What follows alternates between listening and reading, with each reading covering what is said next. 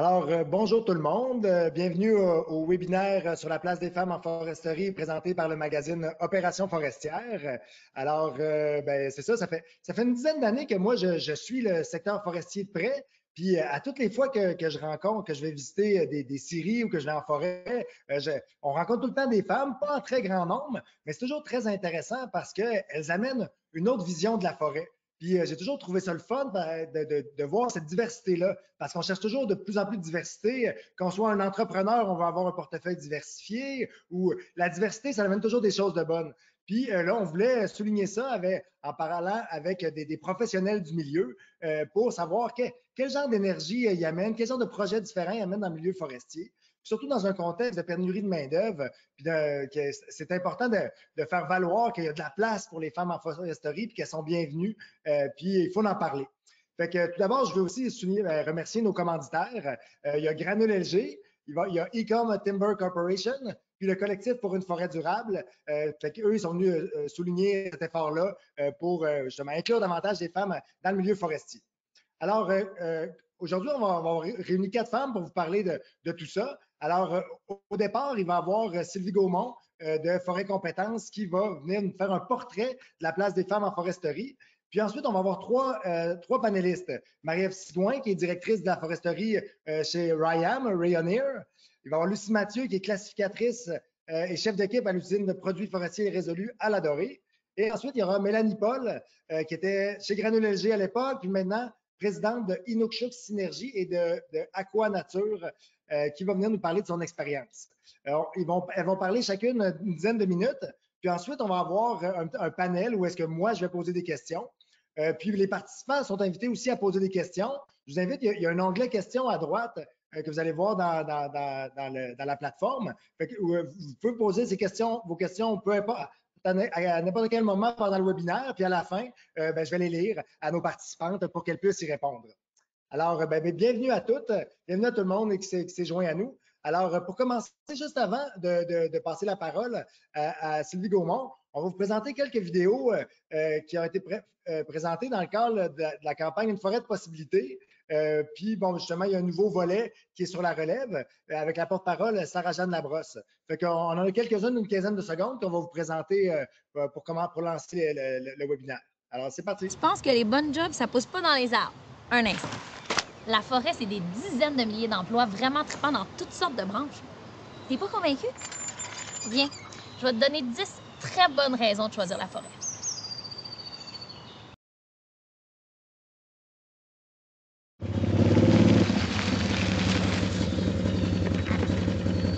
Des jobs dans le secteur de la forêt, il y en a plein. Il y en a partout au Québec. C'est des bonnes jobs, là, sont vraiment payantes. Puis en plus, c'est une carrière qui sort de l'ordinaire. Puis le terrain de jeu, ben, il est immense. Faut juste pas se perdre.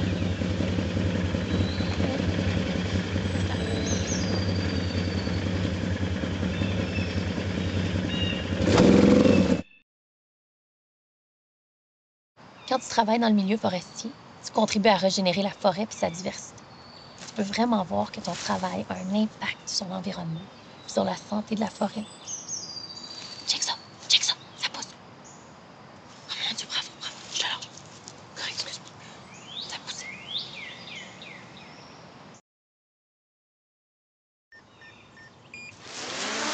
La forêt, c'est un secteur qui est vraiment techno. Il y a des drones, il y a de la programmation, il y a des simulateurs, il y a de la télédétection.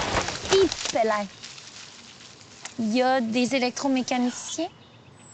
Peut-être.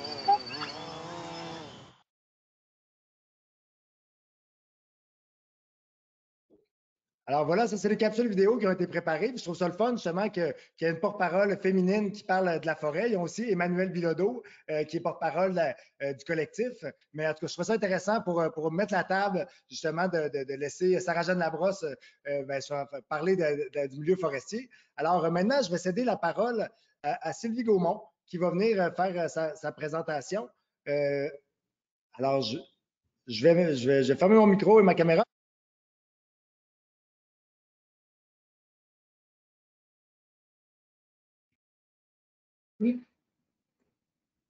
Alors, peut-être commencer du début. Euh.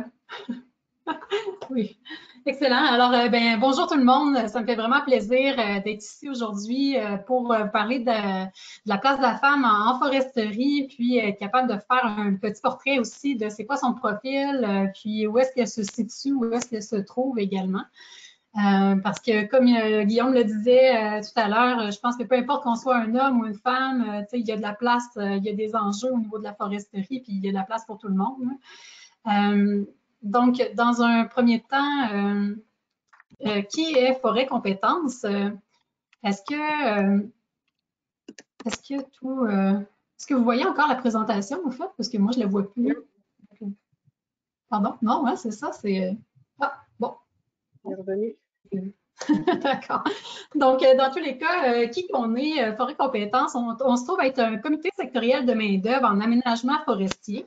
Euh, au Québec, il y a 29 comités sectoriels de main-d'œuvre, dont un pour chaque grand secteur d'activité. Puis moi, les activités que je couvre, c'est vraiment toutes les activités qui se déroulent en forêt à partir du moment que ça sort, euh, ça s'en va sur un camion, ça part en usine de transformation. Euh, c'est plus dans mon secteur, c'est vraiment un autre comité sectoriel à ce moment-là qui prend la relève.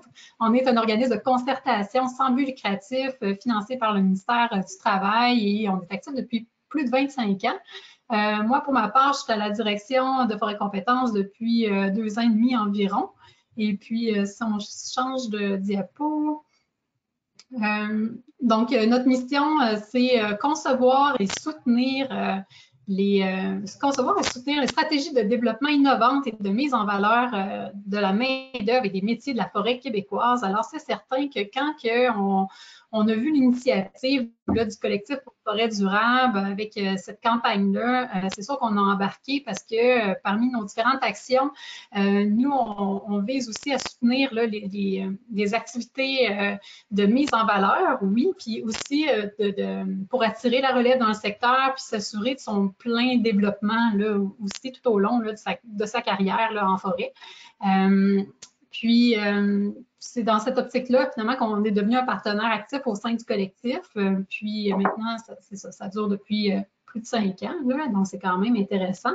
si on change, merci. Donc, au niveau des le, collectif pour une forêt durable, ça rejoint une soixantaine de partenaires au total qui, qui, sont un peu partout, qui représentent vraiment bien aussi l'industrie au complet. Euh, puis on a tous pour objectif d'apporter un éclairage moderne puis factuel aussi sur le secteur forestier québécois, redorer un peu son image parce qu'il y a quand même une méconnaissance du secteur, euh, puis euh, il y a beaucoup de désinformation. il y a une grande diversité d'emplois pourtant qui est là, puis souvent ça va être méconnu là, des gens. puis aussi, on est dans un contexte de pénurie de main-d'œuvre, euh, donc il y a beaucoup de compétition entre les différents secteurs, donc on gagne à être plus créatif dans notre façon euh, d'aborder les choses, d'aborder les jeunes, puis aussi les femmes. Puis cette année, c'est pour ça qu'il y avait ce volet-là, attractivité, là, qui visait euh, les jeunes, puis, puis les femmes également. Donc peut-être qu'on peut poursuivre. Euh, alors, on a mis en place euh, différentes euh, solutions par rapport à, cet enjeu-là, dont des campagnes promotionnelles, oui, mais aussi on, s'occupe de différentes activités éducatives sur les métiers de la forêt. on pense entre autres aux activités Bien vivre la forêt qu'on fait en collaboration avec les différentes associations forestières partout au Québec qui font vraiment un bon travail là, à ce niveau-là. Ils vont dans les écoles et tout ça, puis nous, on les dans les VVF, les activités euh, Bien vivre la forêt, qui se trouvent être des activités vraiment interactives où est-ce qu'on fait vivre des ateliers, euh, puis euh, expérimenter finalement différents métiers aux jeunes. Aussi, on soutient les entreprises pour des meilleures pratiques au niveau de la gestion des ressources humaines, que ce soit par la formation en GRH ou bien par des outils. Euh, on, a un souci d'intégrer les clientèles qui sont sous-représentées sur le marché du travail. Donc, on, parle à ce moment-là des jeunes, des femmes, euh, des autochtones, euh, donc des personnes qui ont un handicap.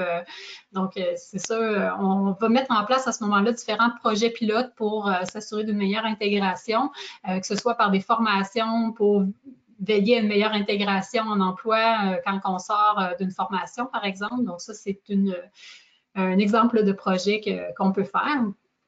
Euh, puis aussi, on a une préoccupation face au manque de, relève entrepreneuriale. Euh, d'ailleurs, à la fin du mois d'avril, on va, euh, démarrer une grande étude, un portrait des entrepreneurs forestiers au Québec qui va nous permettre justement de mettre en lumière les problématiques et donc aussi de mettre des solutions là, en place suite à ça. Si on poursuit. Donc, les femmes en foresterie, où est-ce qu'elles sont? Eh bien, en aménagement forestier, comme on peut constater sur ce graphique-là, euh, les femmes sont majoritairement euh, dans les emplois d'adjointes administratives. Ce n'est pas une grande surprise, là, euh, sauf que faut dire que derrière chaque grand entrepreneur forestier, il y a souvent, euh, même de façon historique, il y a souvent une, une femme pour l'appuyer dans tout cet aspect-là de gestion de son entreprise. son rôle n'est pas négligeable. Même que maintenant, de plus en plus, euh, les femmes des entrepreneurs vont être directement sollicitées puis impliquées dans les décisions importantes là, ou des investissements ou avant de se lancer en affaires. Il faut vraiment que la conjointe euh, de de l'entrepreneur, finalement, soit une partie intégrante. C'est ça ce qui va même constituer un facteur de succès euh, son, pour l'entreprise.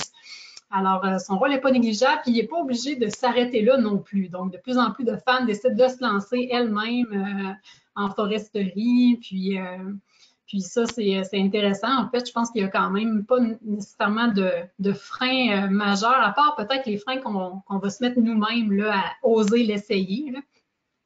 Euh, puis euh, sinon, les femmes, euh, ben, ils vont se retrouver aussi du côté des, ben, de plus en plus, on parle de, 20% des femmes qui vont être des technologues ou des techniciennes forestières. Souvent, les femmes, ils vont poursuivre leurs études au niveau postsecondaire, que ce soit collégial ou même universitaire. ce qui fait qu'ils vont occuper un peu plus de place là, comme ingénieurs forestières ou comme technologues. Donc, ça, ça vaut pour un 15 à 20% des femmes, ce qui est intéressant. Puis euh, aussi, dans ces rôles-là, souvent, ça va être un beau compromis entre euh, le travail euh, de bureau puis le travail aussi en forêt. puis ça, laisse de la place aussi à une très, très grande diversité de, tâches, de fonctions, là, ce qui est intéressant.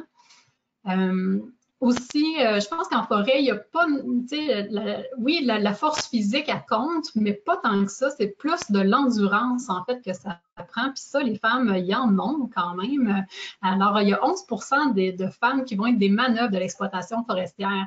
Puis ça, c'est des données qui datent de 2016. Hein. Donc, je pense que depuis, ça a été en augmentant, en fait, et non en diminuant. Euh, puis je pense que ça, c'est quelque chose qui répond aussi à un besoin de pouvoir bouger. Puis euh, c'est comme s'entraîner puis être payé pour être entraîné, pour aller s'entraîner ou se promener en forêt, euh, que ce soit avec pour planter des arbres, par exemple. Donc, c'est quand même euh, ça, ça répond aussi à des besoins.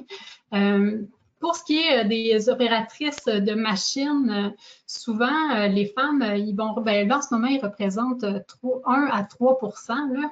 Donc, c'est sûr, c'est c'est pas beaucoup. Là. puis je pense que ça va être amené à changer parce que les femmes qui y sont en ce moment, souvent, ils vont se démarquer parce qu'ils vont être plus consciencieuses puis plus douces aussi sur la machinerie, donc moins de bris de machine, moins de coûts aussi. Puis ça, ben, les entreprises, euh, ils aiment ça, finalement, c'est bon pour tout le monde. Euh, si on change euh, de, slide, on voit que dans, certaines, dans, certains milieux, comme dans les pépinières forestières, les femmes, c'est elles qui sont majoritaires. Donc, près de 60% des ouvriers en production de plants sont des femmes. Si on change encore, euh, tandis que du côté euh, des cueilleurs euh, de produits forestiers non ligneux, il y a 30% de, femmes qui sont présentes. Donc là aussi, ils ont une place qui est importante. Si on poursuit. Du côté de la transformation du bois, en première transformation, les femmes représentaient en 2012 que 7% alors qu'en deuxième transformation du bois, elles atteignent 19% alors, puis la situation n'a pas beaucoup évolué au niveau du siège parce que le travail est quand même encore euh, très physique. Euh, mais au niveau de la deuxième transformation, les femmes maintenant, c'est plus de 50% des travailleurs dans certaines entreprises. Puis il y a beaucoup de femmes aussi euh, qui vont s'occuper, qui vont occuper des postes, que ce soit de, de, de superviseurs, de, de contremaîtres, de contrôleuses, de de contrôleuse de la qualité ou euh, au niveau de la, direction là, également. Euh, il y a aussi beaucoup de femmes qui sont propriétaires d'entreprises. Puis, euh, souvent, elles vont se démarquer puis ils vont avoir des forces au niveau de l'administration. que ce soit la gestion, communication, la comptabilité, les finances, la gestion des ressources humaines. Donc, tout ça, c'est des choses qui, souvent, ils vont se démarquer là, quand même, puis qui... donc, c'est des rôles qui sont quand même stratégiques là, au sein des entreprises là, aussi. Euh, finalement, l'intégration euh, des femmes en transformation du bois, ben, c'est sûr, c'est bien enclenché, puis ça devrait s'accélérer aussi au cours des prochaines années, étant donné l'automatisation, puis l'allègement aussi de, certains postes. Donc là où est-ce que ça, prenait vraiment de la force physique, ben, plus ça va aller, puis euh, moins ça va être nécessité. donc, il devrait nécessairement avoir plus de femmes qui l'intègrent. Donc, euh, quand on inclut tous les emplois en aménagement forestier, en transformation du bois puis en fabrication de pâte et papier, ça représente plus de 60 000 emplois partout au Québec. Il faut dire qu'il y a 152 municipalités euh, au Québec qui ont la forêt au cœur de leur économie. Donc, c'est quand même euh, non négligeable. Puis, avec la pénurie de main-d'œuvre actuelle, on ne peut pas se passer des femmes dans le secteur. ça, c'est certain. si on change, je voulais euh, prendre quelques minutes finalement pour vous parler aussi du, euh, en fait, du type de personnalité recherchée. En fait, ça, c'est mon côté conseillère d'orientation qui ressort, là, mais, euh, en fait, quand je regarde la théorie de Holland, donc il y a six principaux types de personnalités qui ressortent, puis souvent, habituellement, on, ça, ça, va donner notre type RIASEC, qu'on dit, puis notre profil, il est normalement constitué de trois types dominants. Euh, puis moi, j'ai envie de parler vraiment du type là, principaux qui se retrouve au niveau de la forêt. Donc, ce ne sera pas nécessairement euh, votre tangente euh, euh, principal, mais c'est sûr que vous allez vous retrouver en tout ou en partie à travers cette définition-là, puis euh, euh, c'est correct comme ça. Donc, la personne qui travaille dans le bois, souvent au niveau de ses intérêts, puis et tout ça, elle, ça va être quelqu'un qui, qui va être super efficace dans la solution de problèmes d'ordre pratique, elle va avoir un esprit pragmatique, logique, concret est intéressé que par les choses ou les sujets qui lui sont utiles. Si c'est des affaires trop théoriques, trop larges, trop, euh, trop de flafla, là, souvent, ça ne l'intéressera pas. Là. Bon, euh, est-ce que, est que ça va me servir à quelque chose, oui ou non? Puis si oui, ben là, là ça va, être, ça va l'intéresser. Euh, ça va être des gens qui vont aimer fabriquer, manier, conduire, réparer, démonter, assembler. Souvent, à l'école, c'était ceux qui s'amusaient à démonter puis euh, leur crayon pour juste comprendre comment est-ce que ça fonctionnait, leur système, puis leur monter, démonter. Euh, euh, aussi, ça va être des gens qui ont besoin de bouger, euh, donc ils vont aimer le travail physique, puis euh, aimer aussi travailler dehors, donc que ce soit en forêt ou au moins être capable d'avoir à se déplacer dans le cadre de ses fonctions. Donc ça, ça va quelque chose qui, qui va être important pour eux. Euh, c'est des gens aussi, de façon générale, là, en forêt, on va travailler avec du monde, des bons vivants. C'est du, monde qui aime rire, qui aime ça s'amuser, puis que ça, ça va être euh, très, très important. Fait que c'est sûr que quelqu'un qui est trop susceptible, euh, ben, c'est peut-être pas nécessairement sa place. Il faut être capable de faire des, blagues, puis d'en prendre, d'en laisser, puis embarquer un peu là, là-dedans là, pour avoir du, du fun là, au travail.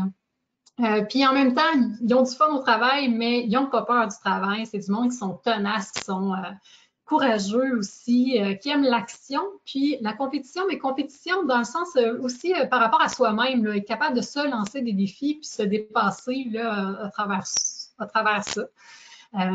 puis ça va être des gens aussi qui vont être en général capables de, de, prendre des risques, puis qui vont être plus axés sur la, la finalement, ce que tu fais que plutôt que sur ce que tu as l'air comme tel. Donc, euh, l'image puis tout ça, c'est peut-être moins important, mais par contre, tes actions puis ce que tu fais concrètement pour de vrai, ça, ça, ça compte.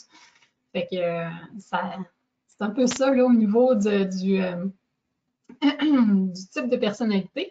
Sinon, si vous n'êtes pas encore convaincu que vous hésitez encore, il y a 10 bonnes raisons de choisir la forêt. C'est les 10 raisons là, qui ont, sont ressorties au niveau de la, campagne Relève euh, avec le collectif. Alors, si vous avez envie d'en savoir plus, ben, je vous invite à aller voir soit le site euh, touchedubois.org ou encore euh, je choisis, choisis la forêt.com.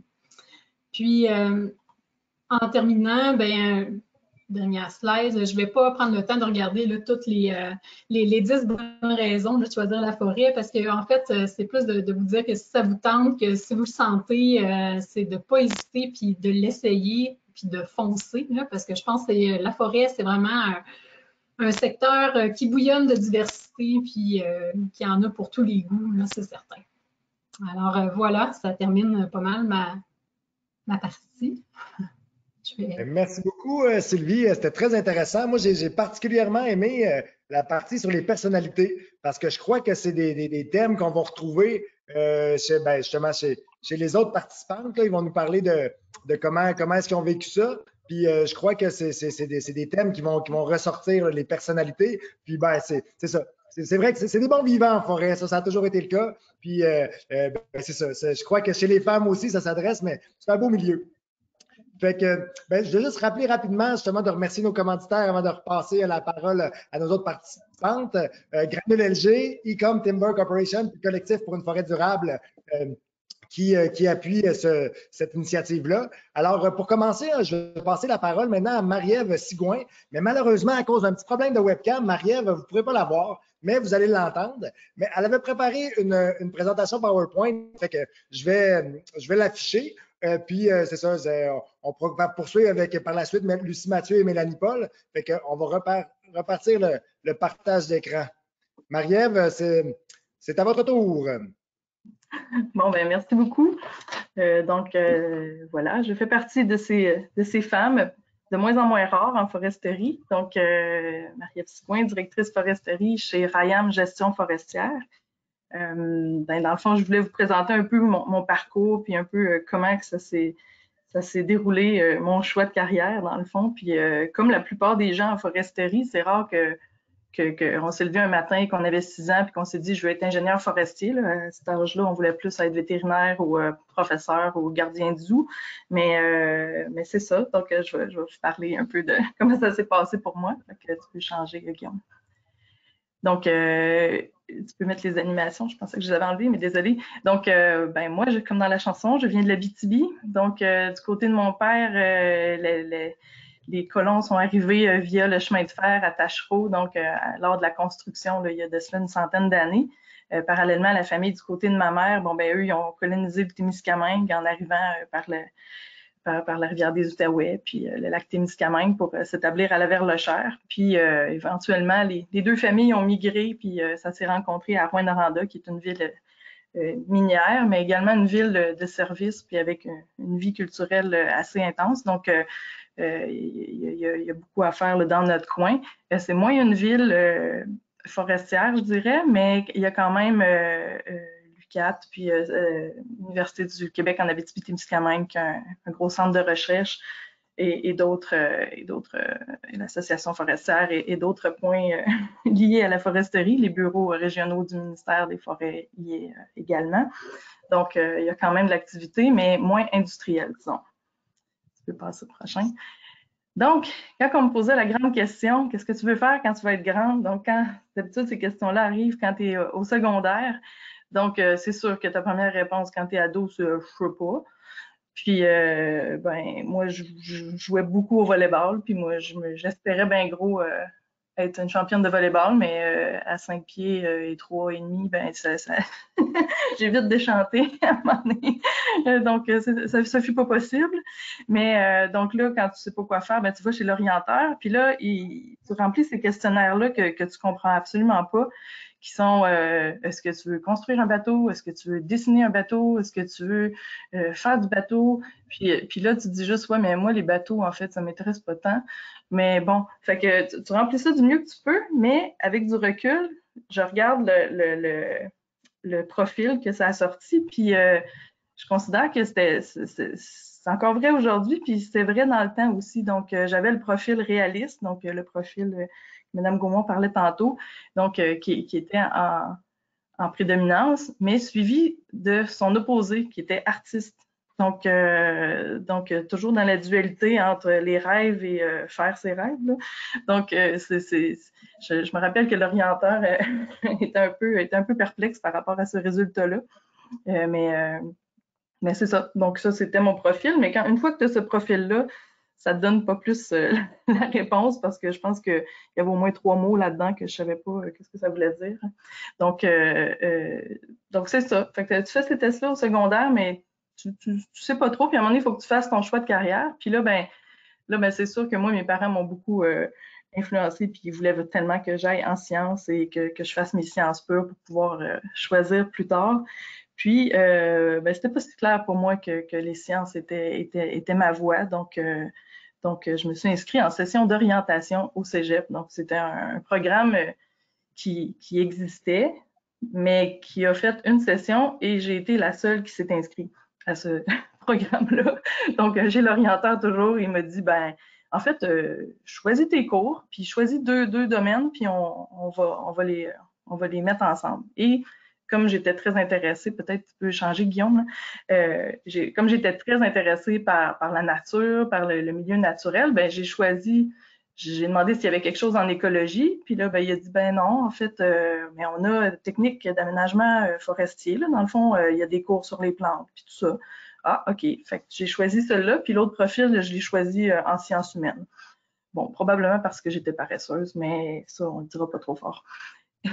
Mais c'est ça. Donc, j'ai commencé comme ça et ça a été ma, première session d'accueil.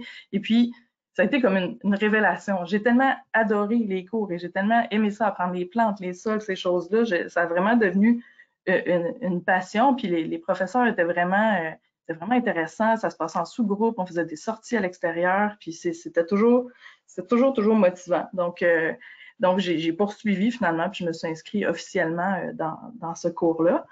Euh, puis tu peux changer. Guillaume.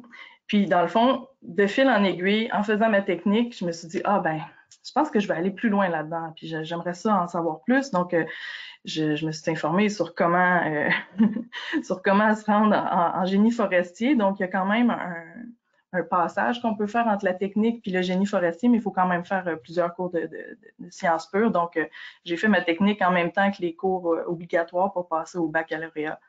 Euh, donc, j'ai fait à l'Université Laval. Donc, euh, à l'Université Laval, ben là, dans le fond, j'avais une, mesure d'avance parce que, étant donné que j'avais fait ma technique, ben, je savais déjà, euh, j'avais déjà acquis la base, puis c'était plus facile, dans le fond, d'aller plus loin dans les cours qu'on suivait. J'ai aussi eu la chance de faire une année d'échange à l'Université de la Colombie-Britannique, donc à Vancouver, où là, ben, les, choix de, les choix de cours étaient, étaient vraiment intéressants et étaient vraiment différents. par là, euh, l'aménagement des forêts euh, par rapport au paysage, ben, ça prend vraiment une autre tournure parce que là, tu, tu viens ajouter une, troisième dimension là, avec les montagnes euh, un peu, un peu impressionnantes. Donc, par contre, du côté des opérations forestières, j'ai suivi mon cours là-bas, puis je peux vous dire que ben, mes notions de, de, comment poser les téléphériques dans des pentes pour débarder les bois, ben, ils ne sont pas tellement utiles maintenant que je suis en Abitibi. Donc, euh, mais ça m'a quand même ouvert, euh, ouvert euh, la porte à d'autres choses. donc, on peut voir un peu ce que, ce que, ce que ça donne comme, comme, comme, portrait, dans le fond, ce que ça a l'air quelqu'un qui étudie en foresterie. Donc, il y a vraiment plein de choses à la fois pratiques qui, qui ont été dans, dans, mon cursus au début, euh, de, mon parcours. Puis de plus en plus que j'ai continué, euh, dans le fond, j'ai fini avec une maîtrise euh, en biologie parce que au fur et à mesure que, de, mes expériences, dans le fond, j'ai eu l'opportunité de faire une maîtrise sur la culture du peuplier hybride dans le cadre de, de mon travail. Donc, ça m'a mené de fil en aiguille. Donc, ça n'a jamais été un parcours prédéfini, ça n'a jamais été une ligne droite, mais finalement, ça a toujours été en foresterie. tu peux changer au prochain.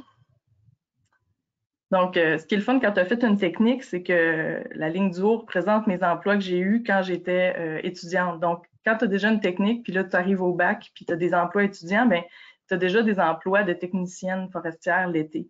Donc, euh, notamment pour le syndicat des producteurs de bois, où je m'occupais de la mise en marché des bois alors que, que j'étais étudiante, au groupe conseil en aménagement forestier aussi, compilation d'inventaire, des choses comme ça. Puis, euh, je faisais de la planification chez Kruger euh, euh, pour la série Parents. Donc, ça, ça a été pendant, pendant, pendant, mes études, mais une fois que j'ai gradué, dans le fond, il y a de cela quand même quelques années. Donc, j'ai commencé par travailler ici en région. Je suis revenue ici en Abitibi, puis j'ai travaillé au Centre technologique des résidus industriels, principalement sur les, techniques, dans le fond, de, plantation à croissance rapide, d'aménagement écosystémique qui, qui, commençait à, ce moment-là comme principe. Et, j'ai migré tranquillement à faire le transfert technologique pour le groupe de recherche de la chaire industrielle CRSNG UCAT en aménagement forestier durable à l'UCAT.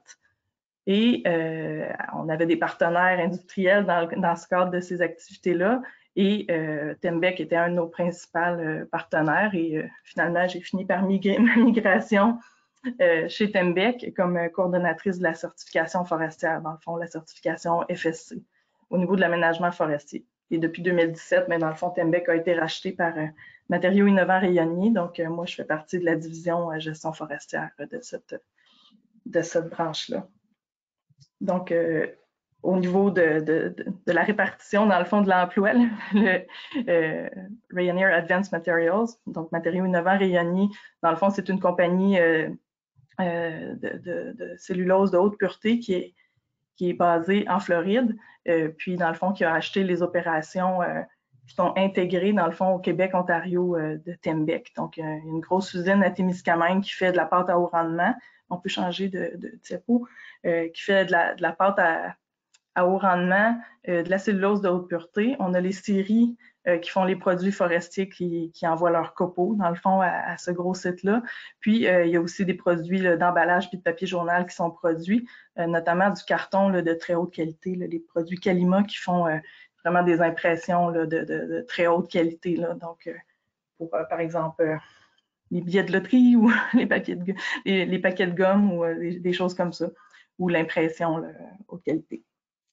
De mon côté, moi, je m'occupe plus de la certification forestière, donc sur les, unités d'aménagement dans, vraiment dans l'ouest du Québec. on est vraiment à la frontière avec l'Ontario, donc celles qui ont, des petites lignes. dans le fond, c'est pour ce, ces trois, et quelques millions d'hectares-là, dans le fond, que je m'occupe de la certification. Ça consiste à, aiguiller, dans le fond, les équipes sur euh, le respect des exigences, donc comprendre les exigences, puis euh, trouver les, moyens d'y répondre, dans le fond, dans le cadre de nos opérations. Donc, euh, essentiellement, je résumerai ça en une phrase, mais il y a quand même 200, 220 indicateurs, je crois, 221 euh, exigences à respecter. Donc, euh, c'est quand même un travail en continu et, quand même considérable.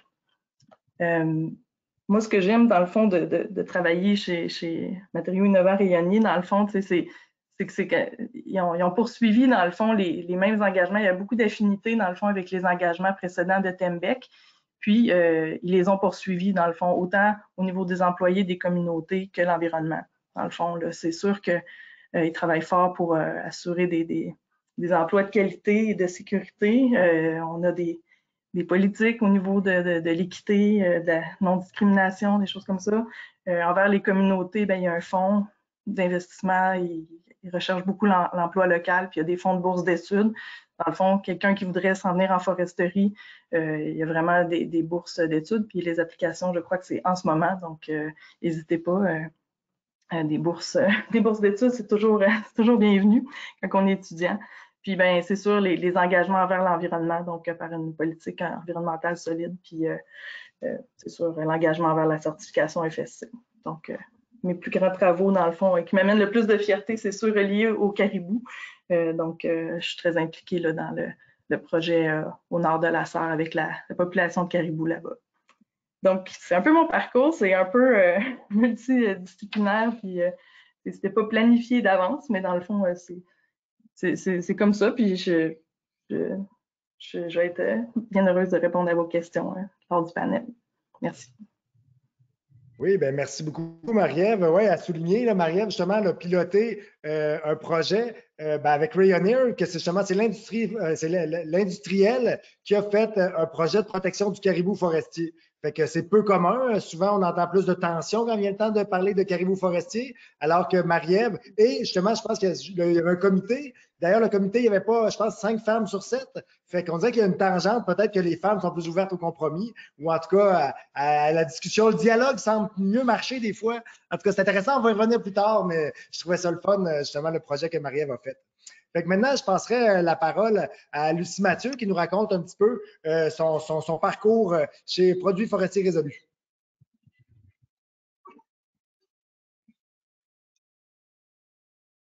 Oui, bonjour. Alors moi, je viens pas du tout du milieu de la forêt. Moi, je viens de l'agriculture. Mon père avait une ferme laitière. J'ai grandi sur la ferme laitière. Euh, je viens d'une famille de sept enfants. Donc, euh, j'ai deux frères, quatre sœurs. Puis, c'est un de mes frères qui a pris la relève de la ferme agricole. Euh, moi, j'ai une formation DEC au Cégep Alma en gestion et exploitation d'entreprises agricoles. J'ai terminé en 1987 depuis mon tout jeune âge, j'ai toujours travaillé sur la ferme familiale. Euh, ensuite, avec mon cours, j'ai travaillé environ dix ans à la financière agricole du Québec.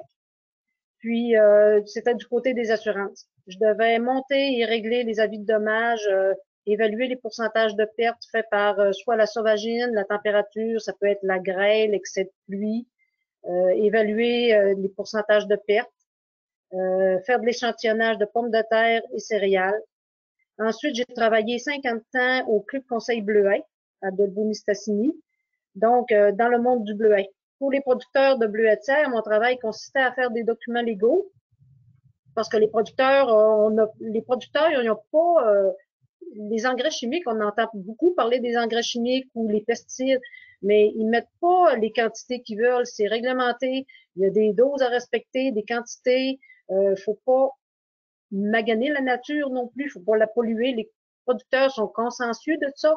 Puis il y a des coûts reliés à ça. Plus ils mettent d'engrais, plus il y a de dépenses. Puis c'est pas nécessairement payant non plus. Puis ils veulent pas empoisonner le monde non plus. Là, ils sont, ils en mangent de leur bleuet, les producteurs de bleuet. Puis euh, je faisais les documents légaux. Ensuite, j'avais le dépistage d'insectes, euh, mauvaises herbes, les maladies. J'ai travaillé au niveau de la recherche pour euh, les différentes méthodes de travail pour l'aménagement de bleuetière. Puis euh, encore une fois pour les produits, on travaillait, on avait des parcelles d'essais euh, qu'on mettait des biofongicides ou des herbicides, peu importe. Puis on regardait qu'est-ce qui contrôlait, quelles mauvaises herbes qui venaient détruire, parce que c'est sûr, après avoir coupé la forêt, il faut, euh, pour avoir une production de bleuets, il faut pas avoir euh, trop de mauvaises herbes. C'est la compétition. La nature, elle veut reprendre sa place. Donc, il faut faire la lutte contre les mauvaises herbes si on veut avoir une production de bleuets. Puis, je suis allée jusqu'à monter des devis pour l'aménagement de bleuets Donc, ça, euh, j'allais avec les producteurs, les propriétaires de forêt. Puis, on marchait le lot complet. puis moi, je voyais le potentiel qu'il y avait pour le bleuet par rapport aux arbres qu'il y avait, puis aux mauvaises herbes. C'est sûr que quand il y avait juste du boulot, du trande, des fougères, c'était pas un potentiel pour faire des bleuetières, donc on laissait ça en forêt. Mais quand il y avait du beau pain gris, euh, du calmia, puis le, le bleuet était présent, là, on avait des beaux potentiels à développer. Euh, depuis quelques années, je possède une partie d'un lot à bois, j'ai un chalet.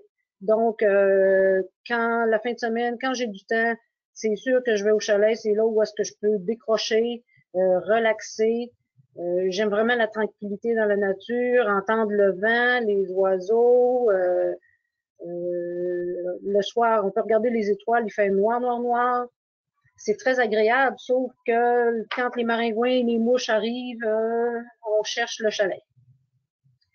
Puis, moi, j'ai toujours été intriguée par les grosses usines, soit euh, que ce soit Alcan, Résolu, euh, les usines de bois, peu importe. J'ai toujours été intriguée par ces gros murs-là, que qu'est-ce qui se passe en dedans, comment c'est installé, le monde qui travaille, qu'est-ce qu'ils font, tous les corps, corps de métier, ça m'a toujours intriguée. Puis à l'automne 2018, il y avait une journée porte ouverte dans les usines Résolu.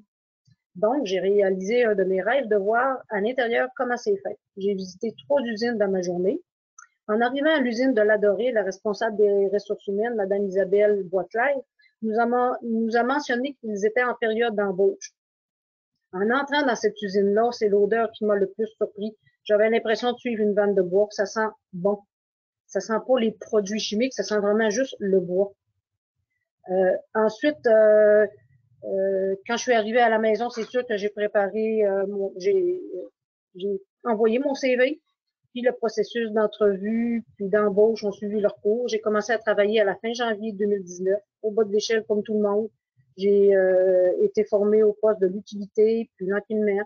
Ensuite, j'ai eu différentes formations, euh, boîte scanner, le rabotage, puis maintenant le jointage.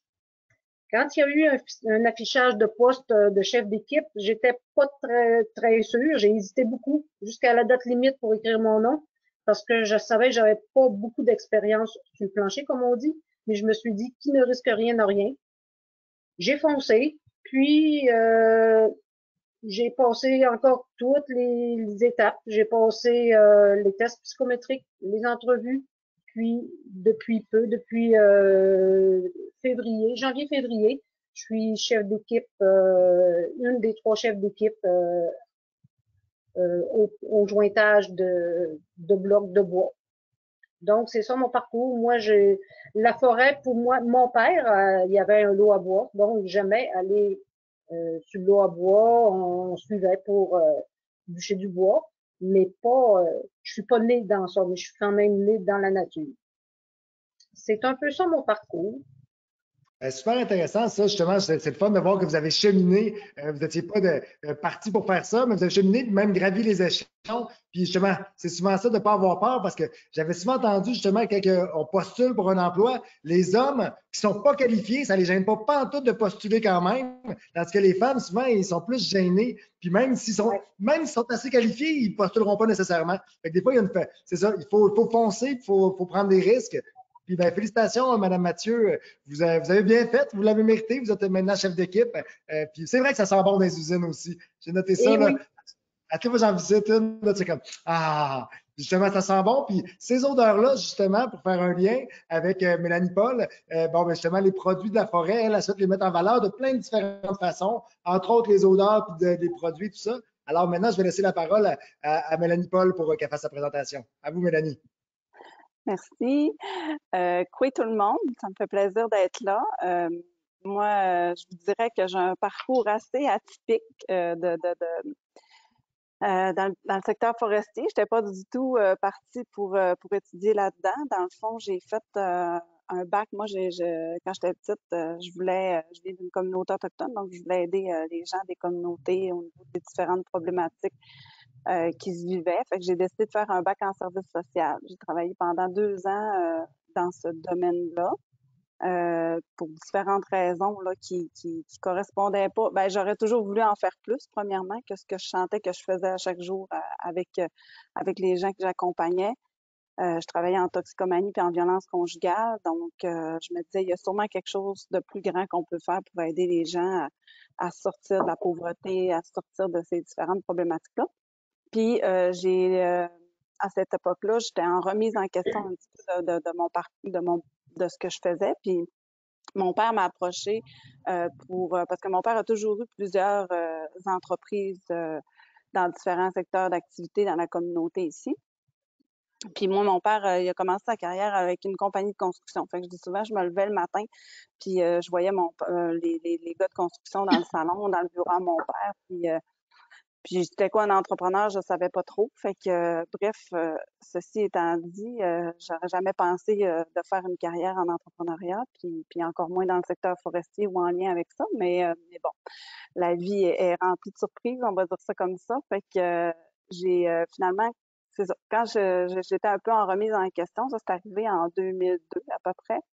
Euh, mon père m'a dit, ben, euh, on pense à la relève euh, dans une de nos entreprises. On voudrait avoir, on voudrait que tu viennes travailler avec nous autres. On a besoin de ressources humaines. Puis là, j'ai fait, OK, mais moi, j'ai étudié en service social, ça n'a pas trop rapport.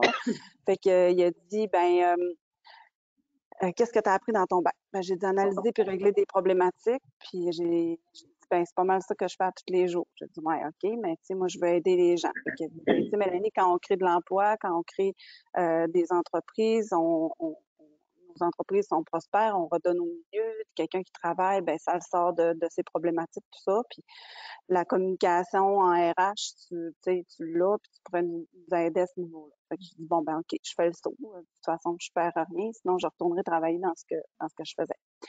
Fait que j'ai, j'ai, je suis arrivée dans l'entreprise en 2002, dans l'entreprise familiale. J'ai travaillé pendant euh, ben, euh, une quinzaine d'années euh, dans différents euh, dans différents postes. je vais dire, mon père n'a jamais voulu vraiment me donner de titre, mais beaucoup en lien avec le RH, le développement d'affaires. Puis euh, à l'époque, c'était ADL Tobacco, puis on a dû fermer cette entreprise-là en 2003-2004 à peu près.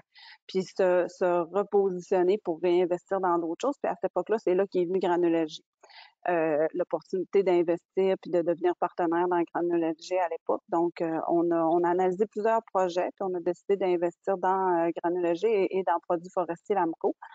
Puis, l'objectif ou ce que nous, on voyait derrière la fabrication de granules, c'est qu'on voyait s'en venir. Tu sais, mon père a toujours été un grand visionnaire, puis j'ai un peu hérité ça de, de, lui aussi, de voir des opportunités d'affaires un peu à l'avance, on va dire, en lien avec ce que, le marché ou le développement, ou qu'est-ce qui, qui, sont les tendances euh, du développement d'affaires. Puis à cette époque-là, on voyait beaucoup euh, l'opportunité de la transition énergétique qui allait venir dans quelques années en lien avec justement le remplacement du mazout, les gaz à effet de serre, tout ça. Fait que nous, on voyait au-delà de, oui, de la granule de chauffage, mais aussi comme une énergie renouvelable d'avenir.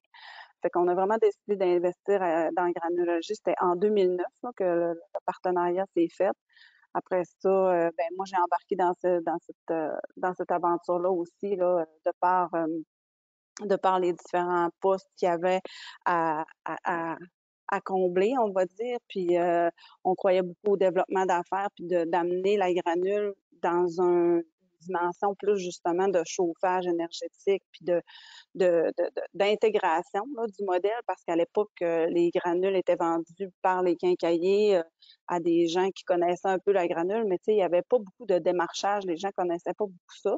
Donc, euh, c'est en 2013-2015 à peu près que j'ai commencé à explorer plus le côté énergétique en lien avec la granule. Puis on a décidé de créer une entité qui s'appelle Inukshuk Synergie, qui est une de, ben, qui est mon entreprise aujourd'hui. Euh, Inukshuk, c'est une entreprise dans le secteur du, ben, ce qu'on offre, c'est des solutions clés en main aux clients, dans le fond, pour faciliter euh, le remplacement des systèmes au, au mazout vers euh, la granule pour générer du chauffage ou générer euh, euh, de l'électricité. Donc, nous, on vise principalement le nord du Québec, mais éventuellement, il y a des projets au sud aussi avec des partenaires avec qui on discute. Puis ce qu'on veut, c'est vraiment faciliter l'expérience client, puis que le client n'ait pas besoin de chercher que ce soit des, des, des, experts pour voir qu'est-ce qu'il a besoin comme technologie pour, pour remplacer son système, mais aussi d'y assurer un approvisionnement en granules parce que Inukshuk est quand même interrelié à Granule LG, puis euh, d'offrir un service après-vente aussi. Donc, c'est vraiment euh, pour pas que le client ait besoin de, faire affaire avec trois, quatre entreprises différentes, puis que ce soit vraiment intégré parce que ça, ce, ce secteur-là a souvent été travaillé en silo. Donc, nous, c'est vraiment ça qu'on veut apporter comme, comme différenciation, on va dire, euh, par rapport à, à d'autres euh, d'autres euh, d'autres gens qui travaillent dans, dans, l'énergie comme nous. Euh, fait que ça, ça a été, été euh, l'opportunité qui est arrivée par Granologie, puis qu'on continue de développer. Puis là, ben, c'est sûr que le COVID a ralenti un peu le développement d'affaires, mais on, a recommencé nos discussions avec les communautés du Nord dans les derniers mois. Puis euh, on a aussi euh, eu des, des, des, discussions avec certaines minières avant le COVID aussi, euh, avec qui il est possible aussi de faire des partenariats pour fournir de l'énergie, de la chaleur dont les minières ont besoin, parce que souvent l'industrie minière sont dans des réseaux non reliés aussi, que ce soit pour les camps, que ce soit pour pour vraiment l'exploitation, etc. Euh, je pense que, que, le volet chaleur, granule, a sa place. Euh, puis l'objectif, c'est vraiment de travailler en collaboration avec, euh, avec autant les gens dans l'éolien solaire, batterie, puis de, de, devenir un, morceau de puzzle, dans le fond, de venir combler euh, une partie de ce que ces énergies-là peuvent pas faire, parce que oui, ils produisent de l'électricité, mais c'est pas encore efficace de faire de la chaleur avec ces, ces types d'énergie renouvelable. Fait Inukshuk, euh, dans le fond, euh, euh, développe une façon de faire pour pouvoir s'intégrer à ces énergies-là. puis l'autre entreprise qui est, venue dans ça a commencé il y a presque quatre ans maintenant, c'est Aqua Nature, A-K-U-A, Aqua, qui est en Inou, qui veut dire prendre soin avec attention. Euh, dans le fond, on a été approché par une entreprise de Québec qui s'appelle euh, Silicycle. Eux étaient du côté plus scientifique, pharmaceutique, dans le domaine de la santé. Puis ils voyaient dans les tendances aussi des différents marchés au niveau mondial que les gens s'en allaient vers le retour aux produits plus naturels. Ils délaissaient le chimique, puis de plus en plus les gens sont conscients que prendre soin de sa santé, il y a moyen de le faire de façon préventive et non, on va dire, euh, curative. Là, donc, euh, tout ce qui est produit de santé naturelle est en expansion. Puis eux cherchaient un partenaire pour développer ce créneau de marché-là en lien avec euh, les plantes médicinales autochtones, les petits fruits, biomasse forestière aussi, puis PFNL, tout ça. Donc, sont venus par personne. On a été présentés. À l'époque, c'était Forêt Modèle qui, nous avait présenté ben, à ces partenaires-là, en fait, parce qu'aujourd'hui, à quoi est détenue euh, par moi et ma cousine à 51 donc c'est une entreprise autochtone, puis euh, Groupe Silicique euh, qui a 49 Donc, l'objectif d'Aqua, c'est vraiment de faire le pont entre la science et le savoir traditionnel des Premières Nations en lien avec se soigner à partir de la forêt. Donc, on est en train de développer, là, on a, notre site Internet est en ligne, on vend des tisanes, on vend des huiles essentielles, euh, on a d'autres produits, on a des épices boréales aussi, puis on est en, en, développement de produits pour euh, faire euh, des, cosmétiques, baume à lèvres, savon, shampoing solide, tout ça. Puis l'objectif, c'est même d'aller un peu plus loin que ça, c'est d'amener éventuellement aussi à l'époque, les, les, les, Premières Nations faisaient des pommades, des onguents, euh, vraiment des choses pour soigner la peau, le corps, tout ça. Fait que l'objectif, c'est vraiment de développer des produits dans ce sens-là. Donc, valoriser la forêt aussi euh, à un autre niveau. Euh, oui, le 2 par 4, oui, le copeau, mais aussi l'énergie qu'on peut produire à partir de ça avec avec euh, Synergie, puis le développer des, en partenariat avec les communautés du Nord. Puis avec Aqua, ben, c'est de développer avec les différentes communautés euh, au Québec, puis même ailleurs dans, au Canada, puis peut-être même dans le monde, euh, de jumeler nos savoirs dans le fond pour arriver avec une, pharmacopée autochtone disponible euh, sur, euh, de façon plus accessible à, monsieur et madame tout le monde. Donc, de promouvoir notre culture à travers ça aussi, c'est important pour nous. Fait que dans les dernières semaines, on a sorti aussi des boîtes de découverte culturelle à travers lesquelles les gens peuvent découvrir nos produits, mais aussi l'artisanat, les légendes, les, le pourquoi les gens utilisaient ces plantes-là. On a le livre, euh, le livre du savoir ancestral des Premières Nations qu'on commercialise aussi sur notre site. Donc, les gens peuvent lire, peuvent, peuvent avoir des, des, informations à l'appui en lien avec ces différentes plantes médicinales-là. Donc, ça fait un petit peu le tour. Euh, je, je, je, dirais que hum, l'objectif, c'est euh, aussi, parce que Aquanature, le slogan qu'on s'est donné, c'est prendre soin du corps et de l'esprit, parce que chez les Premières Nations, euh, c'est une approche qui est holistique. Donc, on, travaille, euh, on, fait partie de la nature, on fait partie de l'environnement. Puis pour nous, c'est important de, de c'est de plus en plus euh, prouvé scientifiquement que reconnecter à la nature, puis aller en forêt, ça aide aussi à retrouver une, forme physique, une forme mentale, puis ça nous redonne l'énergie, on va dire ça comme ça. Donc, éventuellement, quoi aussi vise à, développer un centre de soins santé holistique à travers lequel les gens vont pouvoir aller faire des retraites, reconnecter à la nature, à la forêt, comprendre aussi la culture autochtone à travers ça, puis trouver les produits aqua, puis même peut-être faire des, excursions pour comprendre les plantes, la nature, tout ça. Fait que ça, c'est en développement, mais tu sais, tout tourne autour de la forêt, finalement. J'étais tout petite, j'allais en forêt avec mon grand-père, mais jamais j'aurais pensé, tu sais, on allait à la chasse, on allait, euh, on allait au chalet, on faisait des activités, tout ça, mais j'aurais jamais pensé d'arriver à, avoir des entreprises qui sont aussi interreliées avec la nature. Puis aujourd'hui, pour moi, c'est comme tellement naturel, puis ça vient vraiment me chercher. Là. Fait que c'est ça. C'est un, parcours très atypique, là, mais, euh, mais qui, qui, me rend très heureuse euh, à tous les jours. Merci beaucoup, euh, Mélanie. Ben, Je pense que c'est super le fun parce que ça, ça amène de la diversité, justement, de voir les opportunités à travers ton œil ben, de femmes autochtones mm. qui voient des opportunités différentes que le 2 par 4. Ben, c'est tout ça la forêt aussi. Puis c'est pas, mm. pas pour rien que la, la, campagne du collectif pour une forêt durable s'appelle une forêt de possibilités. Ben, justement, mm. ça, euh, les, femmes euh, permettent de voir un œil différent et de travailler différemment. Je crois que ça apporte beaucoup au secteur forestier. Alors maintenant, ce serait justement la, période qu'on va faire euh, une petite discussion. J'ai quelques questions pour vous. S'il y en a parmi les participants qui ont des questions, il y a un volet questions dans, dans l'application où est-ce que vous pouvez poser vos questions que je poserai par la suite. Alors, la, première question que je voudrais vous poser, c'est est-ce que le fait d'être une femme vous a aidé ou vous a nuit à travers votre parcours? je lancerai la, question tout d'abord à Marie-Ève Sigouin. Euh, Marie-Ève, est-ce que tu as, senti euh, euh, des, des, embûches d'être une femme? Ça t'a aidé en quelque sorte? Ah, moi, c'est drôle, c'est comme pas quelque chose que, je vois comme un avantage ou un désavantage dans, mon parcours. Ça a plus été comme une particularité, tu sais, comme chaque, individu est différent, puis dans le fond, moi, je suis comme je suis.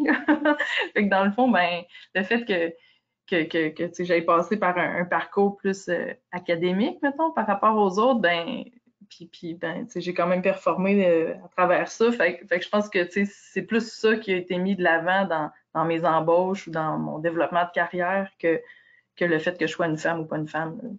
mais tu n'as pas senti de machisme, par exemple, parce que c'est un milieu d'hommes, on s'entend. Fait que tu n'as pas senti des commentaires, tu n'as pas senti euh, de condescendance ou de toutes euh, des choses plates en lien avec le fait d'être une femme dans ton métier. C'est ça? Ben, en fait, je pense pas que ça, ça a influencé mon, mon, parcours de carrière. C'est sûr que ça influence, ça influence mon quotidien parce que euh, on se le cachera pas, il, y a, toujours du machisme, mais ça, c'est vrai à l'épicerie, puis c'est vrai dans mon milieu de travail. c'est comme un kit de base, mais c'est sûr que dans un milieu où il y a davantage d'hommes, c'est sûr que, que, que, les petites jokes plates, là, ils sont, sont, toujours présentes. Je pense qu'avec avec le temps, puis avec, avec les, les, euh, les, mentalités, dans le fond, qui évoluent, puis que le fait que ce soit de plus en plus dénoncé, je pense que il y a plus, il y a, plus de réserves par rapport à ça, je dirais qu'il y a 20 ans. Euh, puis, puis, ben, je pense que ça, ça s'autogère tout seul. Tu as juste besoin de faire des gros yeux deux secondes, puis, puis oui, non, je sais, c'est correct. Puis, bon, ben, ça, ça, se quand même. Puis vous, Madame Mathieu, est-ce qu'en usine, comment ça s'est passé? Est-ce que ça a été, ça, s'est bien fait? Est-ce que vous avez dû faire votre place ou c'est fait, euh, les, les, gars vous ont fait de la place?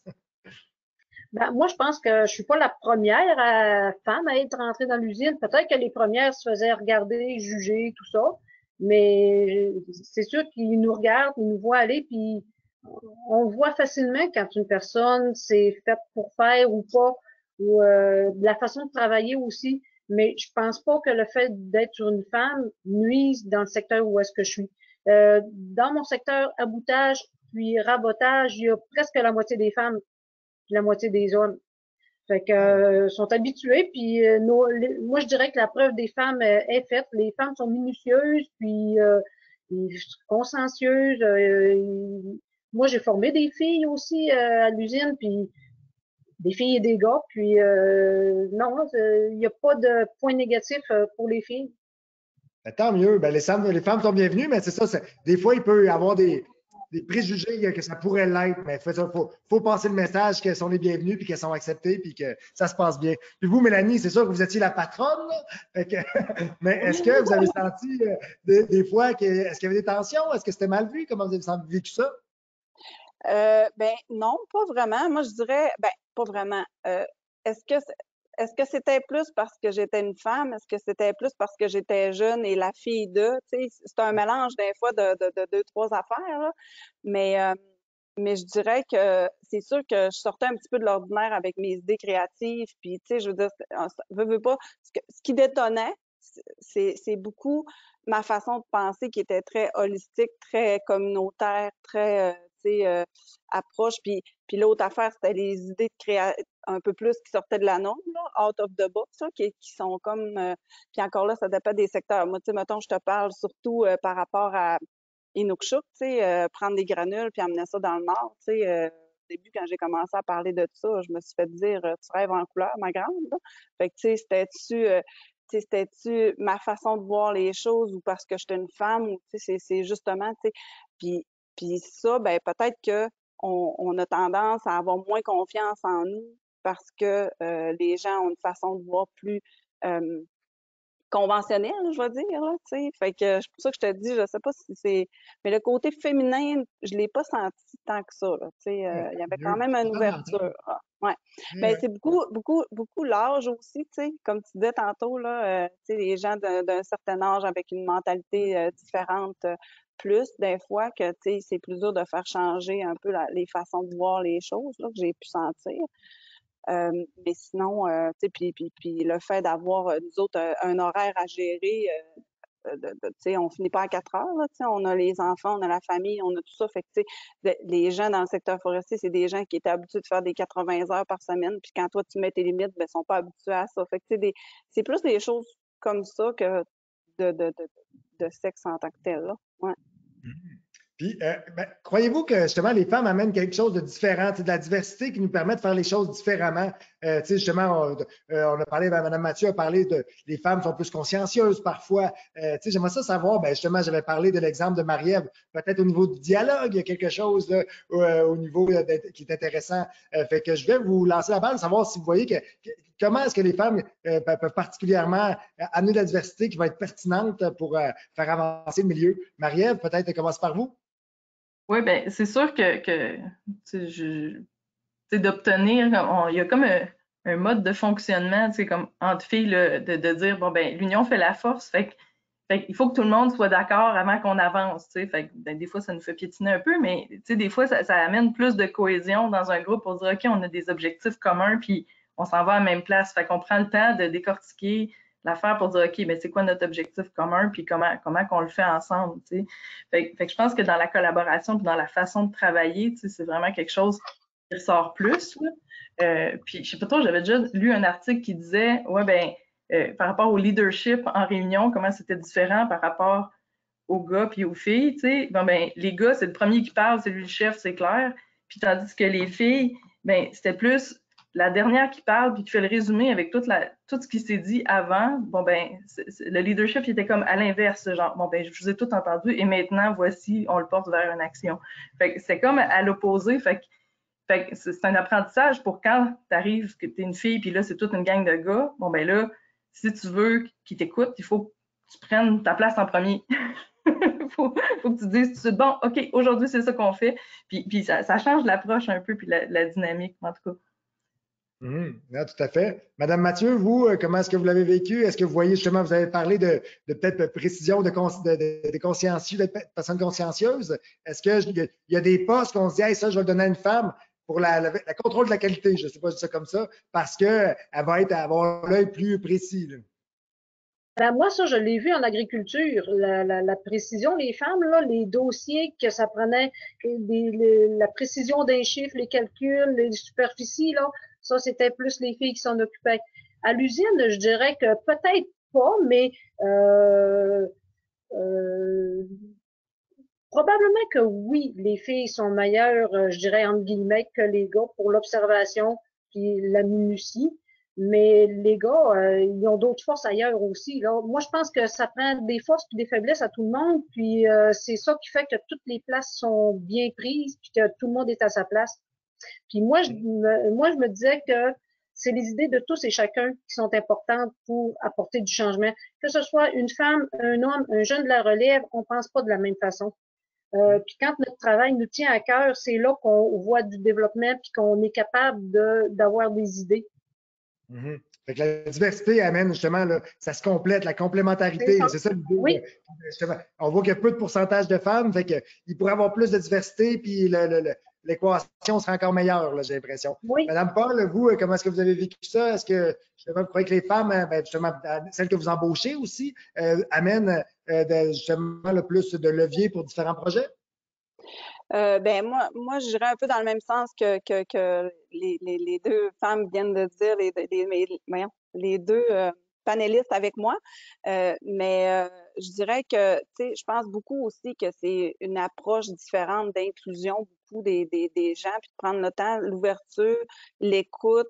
Euh, tu sais, on est plus en mode inclusion de, de, de, de des gens de l'équipe puis des gens euh, qui nous entourent que, que peut-être c'est quelque chose qui est pas il y a des hommes qui incluent tout le monde, puis qui font attention, puis qui écoutent tout ça. Je ne veux pas catégoriser personne, mais je pense que de façon naturelle chez les femmes, de prendre soin, puis d'inclure les gens, puis de prendre le temps de, de, de prendre l'opinion de chacun, puis comment on peut avancer tout le monde ensemble en fonction des forces de chacun, ben ça, on l'a peut-être plus comme femme de, de, de, de voir subtilement qu'est-ce que chaque personne a comme force, puis combiner ces forces-là.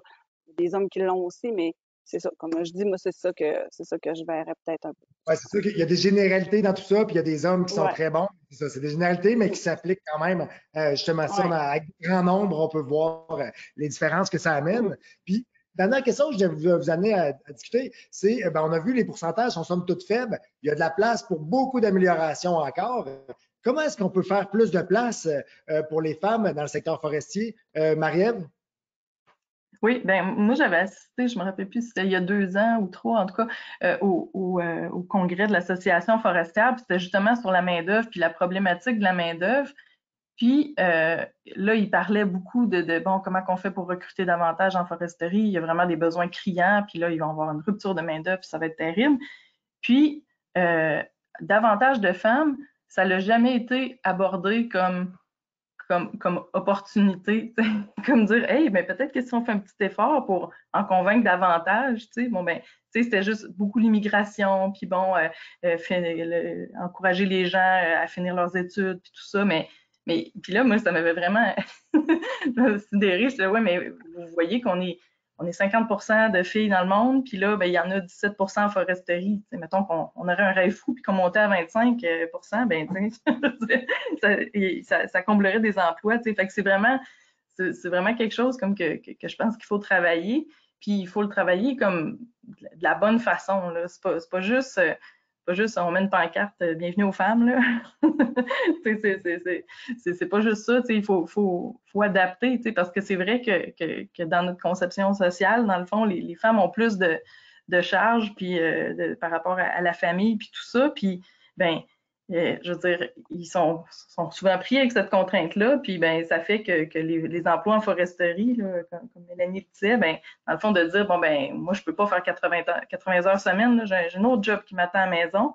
Puis là, ben juste ce mouvement-là dans le marché du travail, d'adapter les horaires, ça va faire que finalement, ben peut-être que, que, les hommes aussi vont en bénéficier puis vont s'impliquer davantage au, au milieu de. Tout est dans tout, là, puis tout est relié, dans le fond. Fait que, je pense que c'est pas, pas, mieux pour un gars de travailler 80 heures semaine. Mhm. Mhm, tout à fait. Madame Mathieu, vous, est-ce que c'est, comment est-ce qu'on peut faire plus de place? Justement, je sais que Produits forestiers résolus, ils travaillent. Est-ce que ça, porte fruit? Est-ce qu'on peut en faire plus? Ben, moi, je pense que les mentalités ont beaucoup changé avec les générations. Les jeunes mhm. d'aujourd'hui sont habitués de voir des femmes dans différents domaines non traditionnels comparés à il y a 50 ans, là, c'était pas ça, là. Puis il y a aussi le bouche à oreille qui fait son, son chemin. Euh, quand on quand on connaît des gens euh, qui cherchent une job, puis que nous autres on travaille dans une usine, ben on est capable, on peut leur dire, euh, essaye-toi, euh, si je suis capable, tu es capable aussi, il y a de la place. Puis euh, ce que j'ai vu aussi des jeunes, il y en a qui commencent comme moi j'ai commencé, puis ils regardent les autres corps de métier, ils retournent à l'école, ils vont suivre un cours, que ce soit un gars ou une fille, puis ils reviennent à l'usine, puis ils ont, un, ils ont un métier, soit euh, opérateur de l'odeur ou euh, en mécanique, peu importe. Là. Puis euh, peut-être aussi dans les écoles, s'il y avait des journées portes, ouvertes, des formations professionnelles avant le cégep, quelque chose pour faire la promotion des métiers qu'il y a en forêt.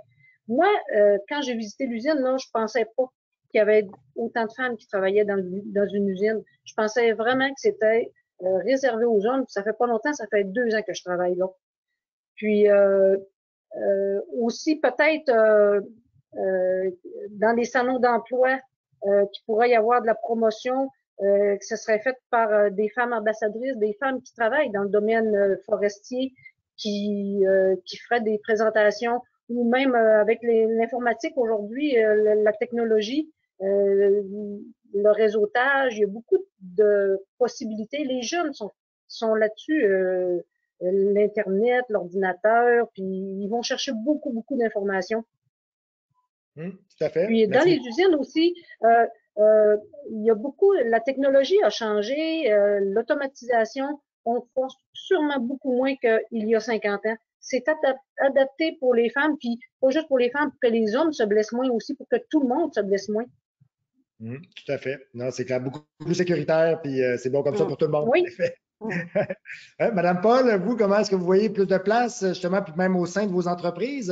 Euh, comment est-ce que vous le matérialisez, là, ce, souhait-là de faire plus de place aux femmes?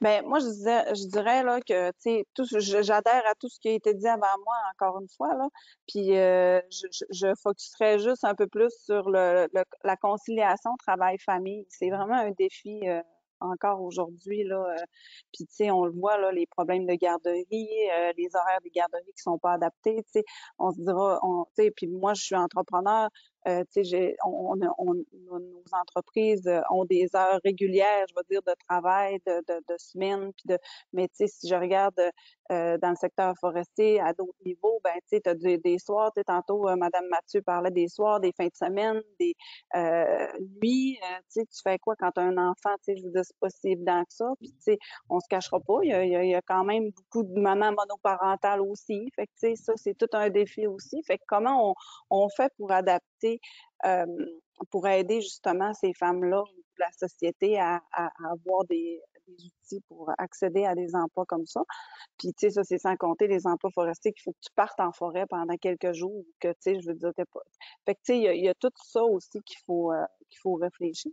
Il y, a ce contexte-là qui n'est pas à négliger. Hum, non, ben, tout à fait. On va souhaiter que, ça continue à s'améliorer. Alors, euh, pour conclure, ben, je voulais à, nouveau remercier nos commanditaires, Granule LG, Ecom Timber Corporation, puis Collectif pour une forêt durable. Et puis, peut-être un petit dernier tour de table, un mot de la fin, un message que vous voulez lancer, quelque chose que vous voulez dire à des jeunes, peut-être, qui sont en foresterie, qui, écoutent le, webinaire, puis qui se questionnent. Marie-Ève, un petit mot de la fin? Ben, un mot de la fin, moi, je dirais que déjà, si le, si le thème de la forêt, de l'environnement, de, de, tous les, matériaux bois, dans le fond, c'est un sujet qui interpelle les gens, tu sais, bon, ben, ben les, les, filles, il ne faut pas qu'ils hésitent à, à, se lancer dans ça. Il y a de la place pour tous les profils. Fait que peu importe, là, ça donnait quoi là, ton profil du secondaire, dans le fond, il y a certainement un poste de travail quelque part qui est adapté à comment toi puis comment tu aimes travailler. Puis euh, ben, le milieu forestier est tellement vaste et diversifié. Je pense qu'il y a beaucoup de méconnaissances, puis encore beaucoup de folklore par rapport à un bûcheron. Tu es en foresterie, je veux dire, mon grand-père, il me présentait à, ses amis, puis il m'appelait Ah, ça, c'est mon lumberjack. Ouais, mais je suis toute sauf un lumberjack. fait que, ben, je pense qu'il y a beaucoup de, de, de, folklore là, à dépoussiérer. Euh, puis, puis, je pense que la, la, la, la promotion d'une forêt de possibilités, je pense que c'est de l'énergie mise à bonne place sur le bon sujet. Hum, tout à fait, oui, c'est ça. C'est clair qu'on a des fois une, façon archaïque de voir la forêt et les métiers qui sont avec. Là, mais c'est ça. Pour les jeunes qui plus atypiques, qui ne veulent pas travailler dans un bureau, ben, la forêt, ça ouvre des, belles possibilités. Madame Mathieu, vous, un mot de la fin? Ben, moi, je dirais que euh, j'ai rien contre les métiers professionnels, les gens qui vont à l'université, je respecte beaucoup ça. Mais pour les jeunes qui n'ont pas la capacité d'aller à l'université, il y a des métiers, euh, des DEP qui vont faire, qui vont avoir des jobs avec des bons salaires aussi. Puis la foresterie, il y a beaucoup, beaucoup de cadres de métiers qui peuvent aller chercher des bons salaires sans un diplôme d'université. Euh, y a de la place, il y a de la place beaucoup, beaucoup pour les jeunes. il y a beaucoup de manque de main-d'œuvre. Donc, les jeunes, les femmes, euh, les, les, hommes aussi, c'est sûr, mais il y a beaucoup, beaucoup de place pour la main-d'œuvre. Mmh. Ben oui, en fait, toutes les entreprises forestières cherchent du monde à peu près. Là. Euh, oui. si vous cherchez, là, a quelqu'un qui cherche de la job, ben, les entreprises forestières, ils embauchent pas mal partout. Là. oui. Madame Paul, un petit mot pour conclure? Ben, euh, moi, je dirais juste, euh, peu importe le métier qu'on a à choisir, faut le choisir avec son cœur, faut le choisir avec passion, faut que ça connecte à qui on est. Puis, euh, je pense que justement, comme les gens disaient, si la forêt parle aux gens, la nature, tout ça, puis que c'est quelque chose qui les attire, de pas hésiter, puis de briser un peu notre système de croyance par rapport à tout ça, comme on vient de dire aussi, là, de faire le saut, puis d'aller l'essayer, puis d'en parler, puis de, de trouver des gens qui sont dans ça, puis de, de de poser des questions, de ne pas avoir peur d'oser euh, poser des questions, puis de sortir de notre zone de confort. Hein. Souvent, on, on s'imagine des choses qui sont justement même pas vraies, puis qui sont basées sur des fausses perceptions. Je pense que c'est oser, puis suivre notre cœur. Ouais. Ah, ben, c'est toujours une bonne, une bonne idée. Alors, ben, je vous remercie tout le monde. Euh, merci d'avoir été là. Merci. Je crois que justement, il faut en parler. Il faut en parler davantage, faire connaître les métiers, puis euh, c'est la façon d'amener plus de femmes en foresterie. Puis en tout cas, moi, je suis juste un observateur, là, mais je trouve que ça l'amène beaucoup. Puis vous en êtes de trois bons exemples. Alors, merci beaucoup à Mélanie Paul de Inuchix Énergie et d'Aquanature. Lucie Mathieu, euh, chez Produits Forestiers Résolus et Marie-Ève Sigouin euh, chez Rayoneer. Merci beaucoup aussi à Sylvie Gaumont de Forêt Compétences qui est venue nous dresser un portrait euh, des femmes en foresterie qui, on espère, changera d'image d'ici quelques années. Le prochain portrait aura fait quelques gains de pourcentage, puis ça, tout le monde va en bénéficier.